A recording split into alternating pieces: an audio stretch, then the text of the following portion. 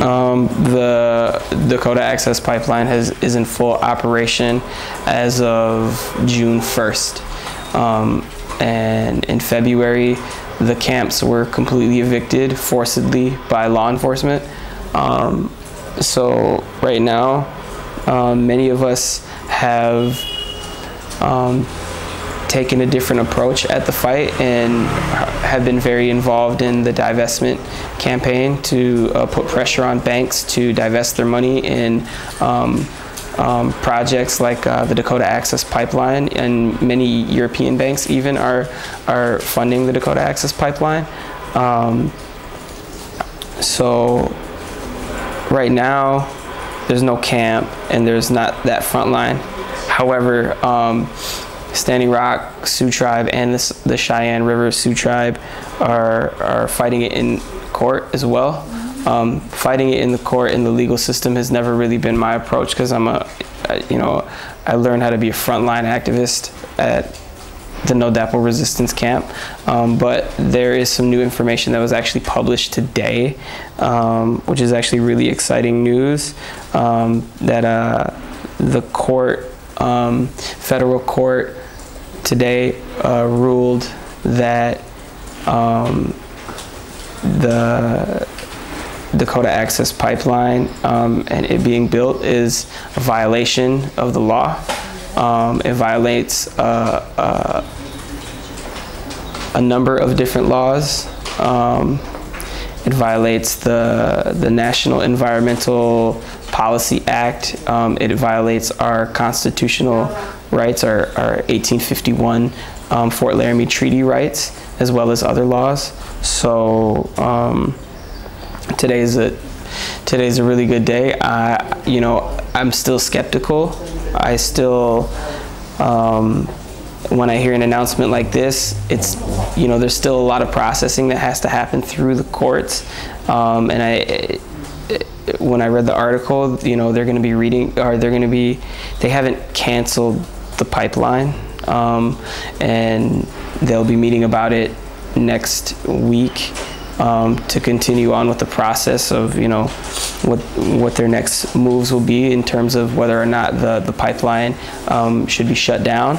Um, and right now, my hopes and my prayers are that um, because they they broke several different laws during this, and now the federal um, court system um, acknowledges that. my hope is that they will shut down the pipeline.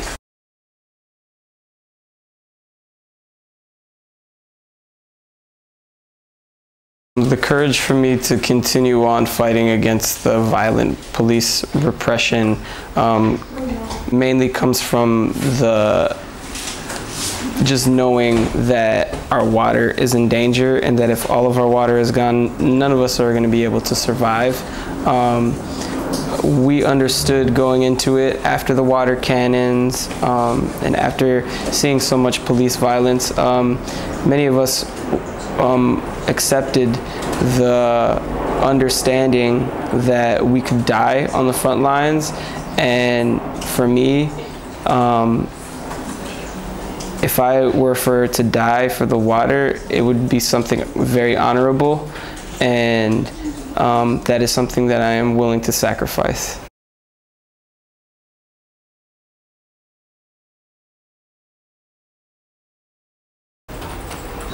I think a lot of it had to do with the exposure that um, that the fight was given mm, because of the nonviolent direct actions that were taking place.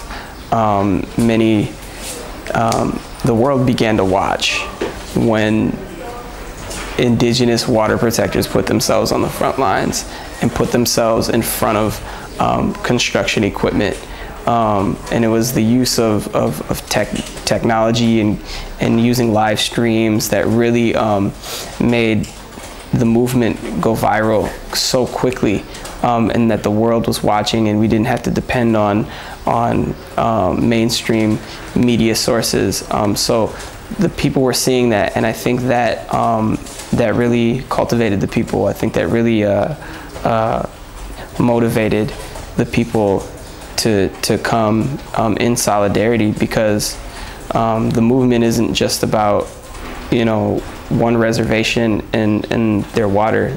Standing Rock is hit by, um, will, hit, will be hit first and their water will be contaminated first. So it um, directly um, impacts the Standing Rock community first. Um, but I think the world um, also had a, had a common understanding that this um, pipeline is another oil extraction project and um, the effects and the impact that um, extracting the oil have is um, will reach everyone globally you know so I think that's a big part of the reason why so many people came together um, and then as far as uh, you know indigenous nations go I mean you know there's this is the first time. I mean, there, this is like a like an awakening. There's like this new level of consciousness that that um, so many hundreds of indigenous communities um, um, felt, you know, um, and I think a lot of that has to do with just our spirituality. Mm-hmm.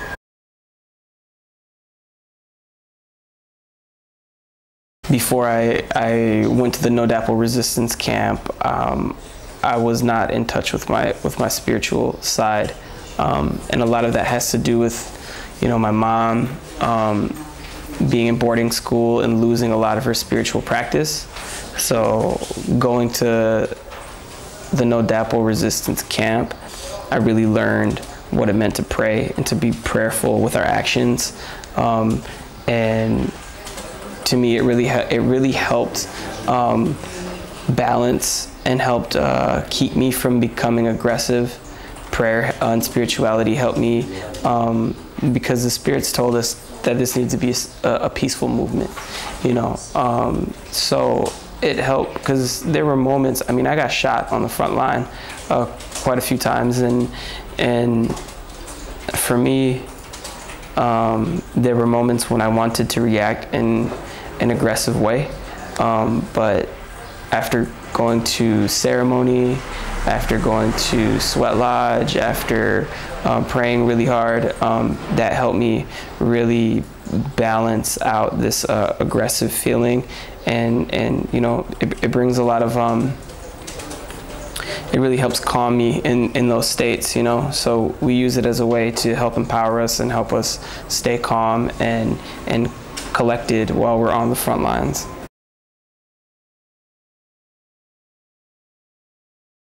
You know, I, I would say um, many different communities were were um, inspired um, by the movement.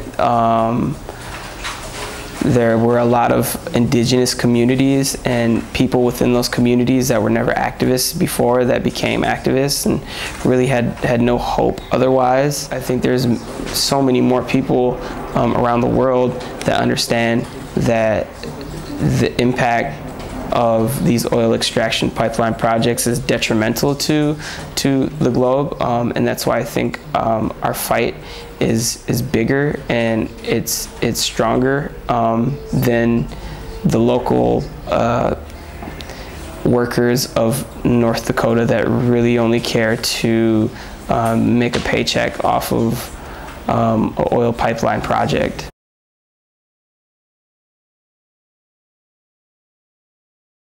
Um, one of the best ways to contribute to the No DAPL movement or while um, being in places abroad is to uh, mobilize around the, the divestment movement. Um, you know we have to we have to continue on with uh, with our with our message that you know there's European banks um, here that are, are funding the desecration of indigenous land, the genocide, the environmental genocide, and the environmental racism uh, towards indigenous people on Turtle Island. Um, I think that information needs to be made public. I think more and more bank shutdowns need to happen and more people need to organize and uh, mobilize um, um, doing bank actions and, and you know, uh, make you know, make as much uh, noise as possible so that um, the people of Europe have a, a um, understanding of how these um, banks are, are, are funding um, you know, the destruction of our, of our community. Mm-hmm.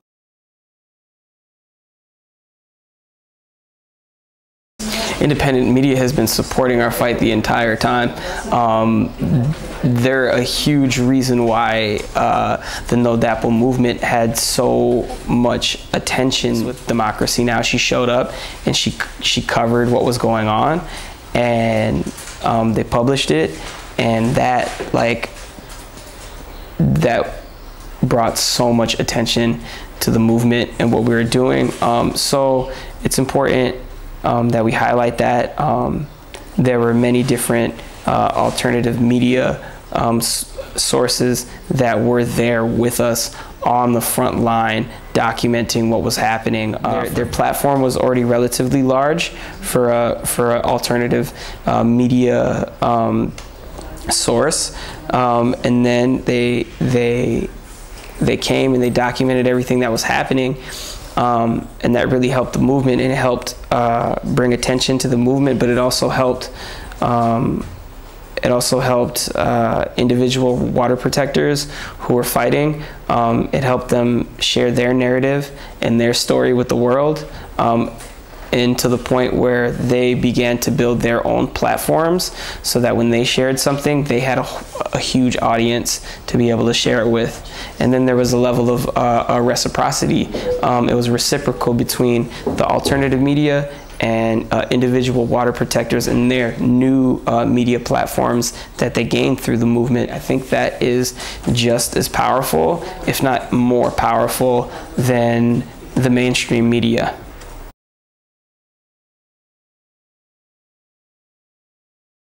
There were many people who came to the resistance camp to make um, to make music and to um, build opportunity off of that.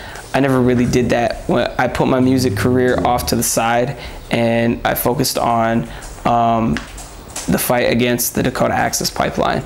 Um, I think it's important to highlight the fact there were many rappers there um, who also did not uh, capitalize off of the movement.